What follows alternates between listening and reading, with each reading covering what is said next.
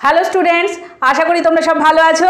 আমি অনিন্দিতা ম্যাডাম। তোমরা আজকে চলে এসেছ কনফিডেন্ট ইংলিশ উইথ পার্থ স্যারের টিউটোরিয়ালে আজকের এই tutorial West Bengal board of secondary এডুকেশনের ক্লাস সেভেনের ছাত্রছাত্রীদের জন্য। আর আমি আজকে তোমাদের এই ক্লাসে তোমাদের লেসন টুয়েলভ মাই ডায়েরি এই গল্পটির ইউনিট থ্রি পড়াবো। ইউনিট ওয়ান এবং ইউনিট টু পড়ানো হয়ে গেছে। ভিডিওগুলো আপলোডও হয়ে গেছে। আশা করি তোমরা সবাই দেখেছ। যদি কেউ মিস করে যাও, তাহলে confident English with Partha sir চ্যানেলে যাবে। সেখানে গিয়ে ক্লাস সেভেনের যে প্লে লিস্ট আছে, সেখানে সবাই ভিডিওগুলো দেখে নেবে। তাহলে তোমাদের ইউনিট থ্রি অংশটা বুঝতে সুবিধা হবে। ওকে আর আবার ভিডিও যদি তোমাদের ভালো লাগে, তাহলে কি করবে? অবশ্যই লাইক করো কমেন্টের মাধ্যমে জানিও তোমাদের কেমন লাগছে। এবং confident English with Partha sir চ্যানেলটাকে যারা যারা এখনও পর্যন্ত সাবস্ক্রাইব করনি, তারা কিন্তু অবশ্যই সাবস্ক্রাইব করে নিও। চলো তাহলে আমরা ইউনিট থ্রিতে চলে আসি। দেখি ইউনিট থ্রিতে অ্যান্ড ডায়েরিতে কী লিখছে? Saturday twentieth June nineteen forty two শনিবার কুড়ি জুন, সাল হচ্ছে উনিশশো বিয়াল্লিশ। I haven't written for a few days because I wanted first of all to think about my diary বেশ কয়েকদিন ধরে আমি লিখিনি, কারণ আমি সবার আগে আমার ডায়েরি বিষয়ে ভাবতে চেয়েছিলাম। কি ভাবতে চেয়েছিলাম? দেখো it's an odd idea for someone like me to keep a diary not only because I have never done so before but because it seems to me that neither I nor for that matter anyone else will be interested in the unbosomings of a thirteen year old school girl and কি বলছে? যে শুধু এই কারণে নয় যে আমি এটা পূর্বে কখনো করিনি। আমি ডায়েরি আগে লিখিনি, সেই জন্য আমি ডায়েরি নিয়ে ভাববো, এই রকম ঘটনা নয়। এই কারণে আমার মনে হচ্ছে যে না, আমি না অন্য কেউ, একটা তেরো বছরের মেয়ে, স্কুল ছাত্রী, যে নিঃসংকোচে মনের ভাব ডায়েরিতে প্রকাশ করতে পারবে, এটা কেউ ভাবতে পারে না। দেখো, এখানে দুটো ওয়ার্ড তোমরা লিখে নাও। ওয়ার্ডগুলো খুব ইম্পর্ট্যান্ট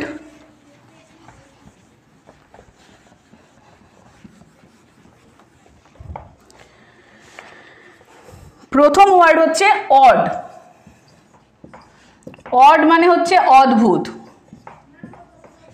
ঠিক আছে? এটা একটা অদ্ভুত ব্যাপার। আর একটা হচ্ছে আনবোজমিংস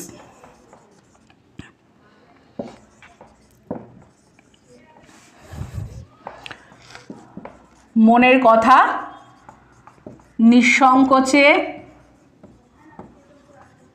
বলা।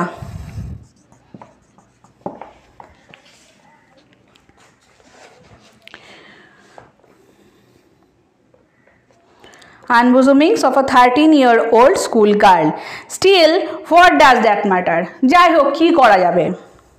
আই ওয়ান্ট টু রাইট আমি লিখতে চাই but more than that I want to bring out all kinds of things that lie buried deep in my heart আমি লিখতে চাই, এটা তো খুব সত্যি কথা, কিন্তু তার থেকেও বড় কথা হচ্ছে যে আমার মনের ভেতরে যে সমস্ত কথা চাপা দেওয়া আছে, সেইগুলোকে আমি ডায়েরি ডায়েরিতে লিখে প্রকাশ করতে চাই। ঠিক আছে? তাহলে এখানে আর একটা ওয়ার্ড তোমরা লিখে নাও। Buried B U R I E buried deep in heart buried deep in heart মানে হচ্ছে মনের গভীরে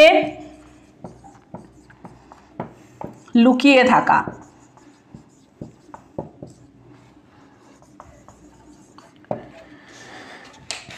মনের গভীরে লুকিয়ে থাকা দেখো, আমাদের অনেক কথা, অনেক ঘটনা আমরা মনের ভেতরে আমাদের থেকে যায়। সেগুলো কিন্তু আমরা কারোর সাথে শেয়ার করতে পারি না।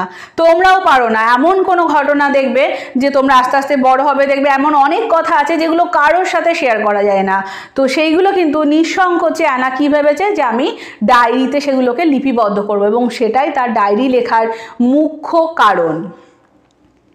এরপরে দেখো there is a saying that paper is more patient than man একটা কথা আছে একটা প্রবাদ আছে যে পেপার হচ্ছে, কাগজ হচ্ছে মানুষের থেকে বেশি ধৈর্যশীল।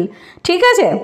It came back to me on one of my slightly melancholy days while I sat in chin feeling too bored and limp even to make up my mind whether to go out or stay at home এক সামান্য বিষাদের দিনে একটা বিষয় আমার কাছে ফিরে আসে। আর তখন আমি গালে হাত দিয়ে বসে থাকি, ভীষণ বিরক্ত এবং নমনীয়, নিস্তেজ হয়ে গেছে। আমার প্রাণ নেই এরকম মনে হচ্ছে, সেই মনটাকে রেডি করি যে কি করব, ঘরের বাইরে যাব নাকি ঘরের মধ্যেই থাকব? এখানে কিছু ওয়ার্ড তোমরা লিখে নাও। মেলানকলি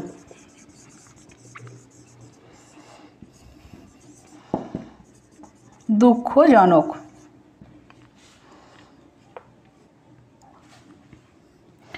চীন মানে হচ্ছে চিবুক।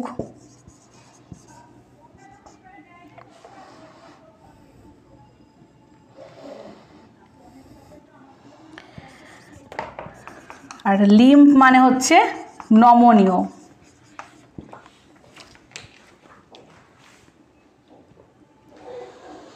Yes, there is no doubt that paper is patient and as I don't intend to sew this cardboard covered notebook bearing the proud name of diary to anyone.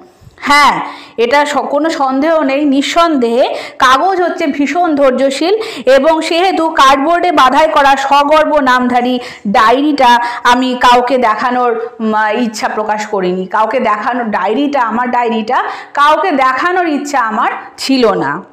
Unless I find a real friend, boy or girl, probably nobody cares. আর সত্যি কথা বলতে কি যতক্ষণ না আমি একটা প্রকৃত বন্ধু সে ছেলেই হোক কিংবা মেয়েই হোক যতক্ষণ না পাচ্ছি ততক্ষণ আমার মনে হয় কেউ এই ব্যাপারে দৃষ্টিপাত করবে না। And now I can come to the root of that matter the reason for my starting a diary এরপর আমি একদম আসল কারণে গোড়াতে চলে আসি যে কেন আমি ডায়েরি লেখা শুরু করেছি। It is that I have no such real friend সেটা হলো যে আমার সত্যিকারের কোনো বন্ধু নেই। তাহলে আমরা কি দেখতে পাচ্ছি? যে অ্যানের কিন্তু সত্যিকারের কোনো বন্ধু রিয়েল ফ্রেন্ড বলতে যেটা বোঝায়, সেটা কিন্তু অ্যানের নেই। Let me put it clearly, since no one would believe that a girl of 13 feels herself quite alone in the world. Nor is it so. আমাকে একটা পরিষ্কার করে কথা আপনাদের বলতে দিন যে আপনারা হয়তো ভাবছেন যে এরকম একটা তেরো বছরের মেয়ে নিজেকে খুব একাকী লোনলি ভাবছে। কেন? এটা কিন্তু সেই রকম ব্যাপার নয়।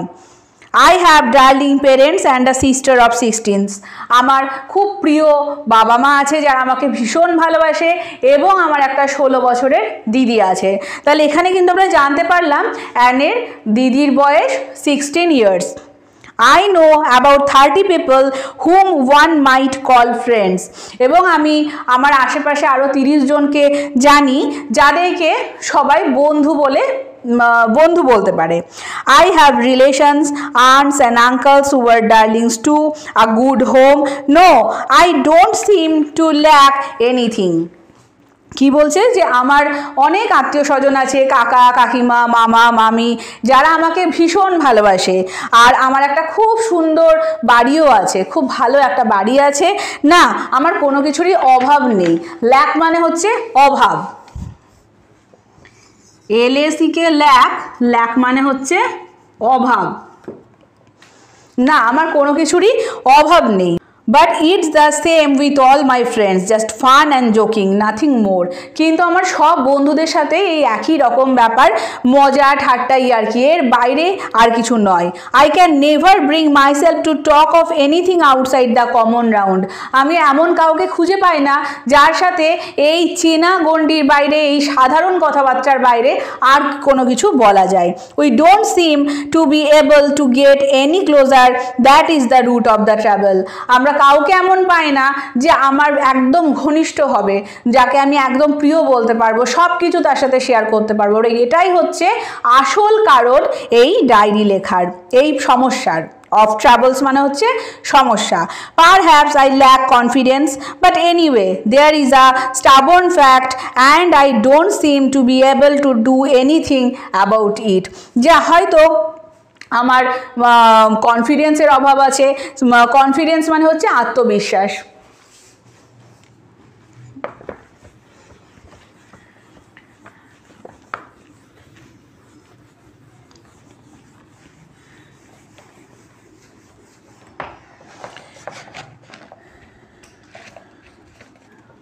কনফিডেন্স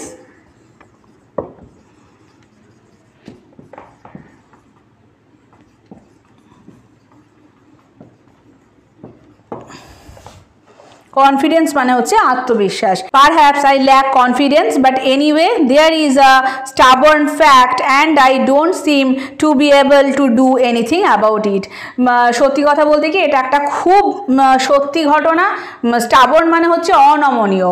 মানে আমি কোনো কিছুতেই কারোর সাথে এই নিজের খুব কাউকে নিজের ঘনিষ্ঠ ভাবতে পারি না। এটা আমার কিছু করার নেই। হয়তো আমারই দোষ, আমারই হয়তো আত্মবিশ্বাসের অভাব, কিন্তু যাই হোক, আমার কিছু করার নেই। স্টাবর্ন মানে হচ্ছে অনমনীয়। এক মিনিট।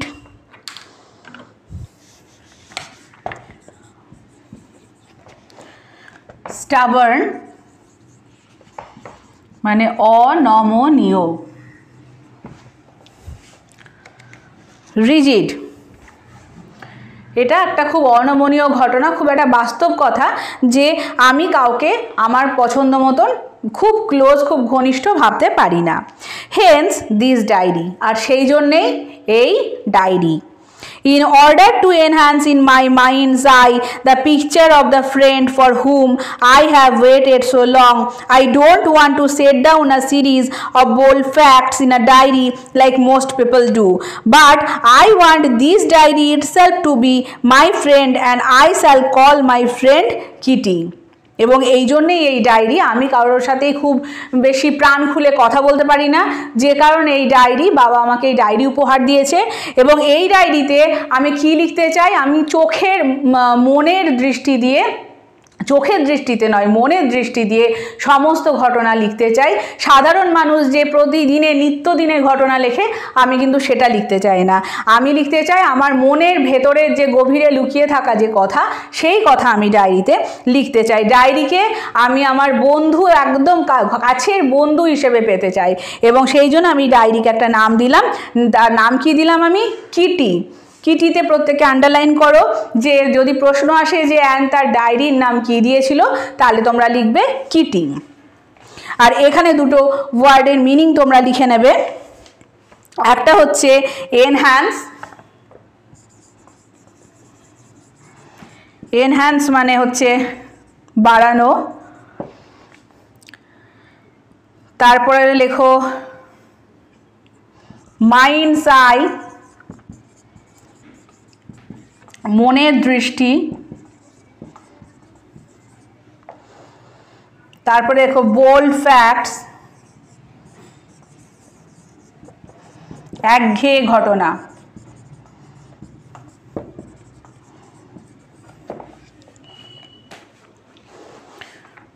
তারপরে দেখো no one will grasp what I am talking about if I begin my letters to Kitty just out of the blue so albeit unwillingly I will sit by sketching in brief the story of my life আর কেউ বুঝতে পারবে না যে আমি কি নিয়ে কথা বলতে চাইছি, যদি না আমি কিটিকে ডায়েরিতে কিটি একদম ডায়েরিটাকে শূন্য রেখে দিই। সেই জন্য আমাকে যদিও আমার ইচ্ছা নেই, অনিচ্ছা সত্ত্বেও আমাকে এখানে নিজের সম্পর্কে নিজের জীবনী সম্পর্কে কিছু লিখতে হচ্ছে। এখানে দেখো অ্যালবেট কথাটার মানে লিখে নাও। অ্যালবেট মানে হচ্ছে দো মানে যদিও।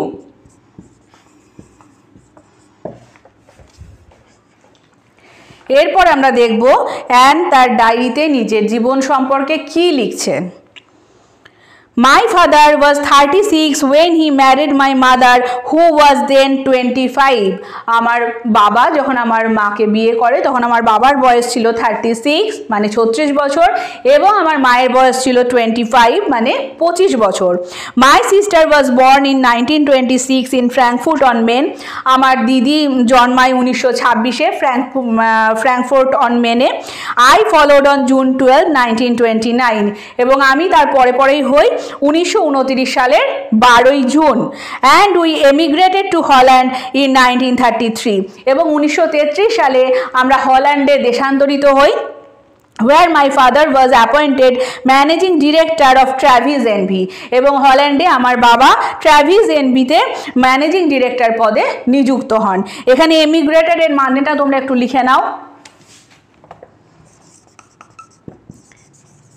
এমিগ্রেটেড মানে হচ্ছে দেশান্তরিত হওয়া।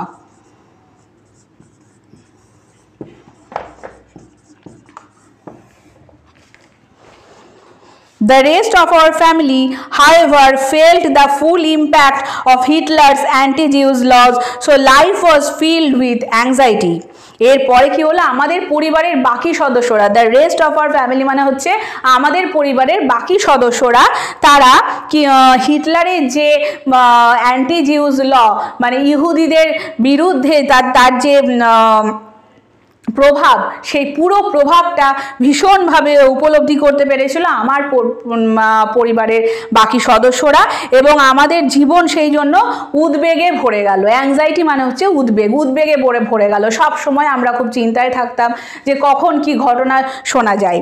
In nineteen thirty eight my two uncles my mother's brothers escape to the USA এবং উনিশশো আটত্রিশ সালে আমার দুই মামা আমার মায়ের দুই ভাই তারা ইউএসএ চলে গেল। My old grandmother came to us আমাদের যে বৃদ্ধ দিদা, সে আমাদের কাছে চলে এলো। She was then seventy three এবং দিদার বয়স তখন ছিল সেভেন্টি থ্রি মানে তিয়াত্তর বছর। Granny died in January nineteen forty two no one will never know how much she is present in my thoughts and how much I love her still কি বলছে? যে জ্ঞানী died in January nineteen forty two. আমার granny মারা গেল উনিশশো বিয়াল্লিশ সালের জানুয়ারি মাসে এবং no one will ever know কেউ এখনও পর্যন্ত জানে না যে আমি জ্ঞানীকে কত ভালোবাসতাম এবং এখনও পর্যন্ত আমি গ্র্যানিকে কতটা ভালোবাসি। In 1934, I went to school at the Montessori kindergarten and continued there. এরপরে উনিশশো চৌত্রিশ সালে আমি মন্তেসারি কিন্ডার গার্ডেন স্কুলে ভর্তি হলাম এবং সেখানেই বেশ কয়েক বছর পড়াশোনা করলাম next page It was at the end of the school year I was in Form 6B when I had to say goodbye to Mrs. K. এরপরে আমি ওখানে ওই বছরটা শেষ হওয়ার পরে ওই স্কুলে আমাকে অন্য স্কুলে যেতে হলো। সিক্স বি ক্লাসে সেখানে আমি ভর্তি হলাম এবং আমার পুরো মন্তেশারি কিন্ডার গার্ডেন স্কুলে যে আমাদের যে টিচার ছিলেন মিসেস কে, তাকে আমাকে বিদায় জানাতে হলো। We both wept. আমরা দুজনেই খুব কেঁদেছিলাম। কে কোন দুজন? অ্যান্ড এবং Mrs K. It was very sad এটা খুব দুঃখের ঘটনা ছিল। In nineteen forty one I went with my sister Margot to the Jewish secondary school she into the fourth form and I into the first এরপরে উনিশশো একচল্লিশ সালে আমি আর আমার দিদি দুজনেই জিও সেকেন্ডারি স্কুলে ভর্তি হলাম। আমার দিদি ভর্তি হলো ক্লাস ফোরে এবং আমি ভর্তি হলাম ক্লাস ওয়ানে so far everything is all right with the four of us and here I come to the present day এরপরে আমাদের চারজনেরই বেশ ভালো চলছিল, কোনো অসুবিধা ছিল না। আর আজকে আমি বর্তমান দিনে দাঁড়িয়ে আছি। এই বলে আমাদের এই গল্প এখানে শেষ হচ্ছে এবং অ্যানের সেই দিনের ডায়েরির ঘটনাও এখানে শেষ হচ্ছে। এরপরে অ্যান তার ডায়েরিতে যে বিশ্বযুদ্ধের যে ঘটনা, দ্বিতীয় বিশ্বযুদ্ধের যে ঘটনা, সেই ঘটনার পুঙ্খানুপুঙ্খ বর্ণনা তার ডায়েরিতে লিখবে। সেটা আমাদের পাঠ্য নয়, আমাদের এতদূর পর্যন্ত পাঠ্য বিষয় ছিল। এখানে আমাদের মাই ডায়েরির ইউনিট থ্রি পোর্শন শেষ হচ্ছে।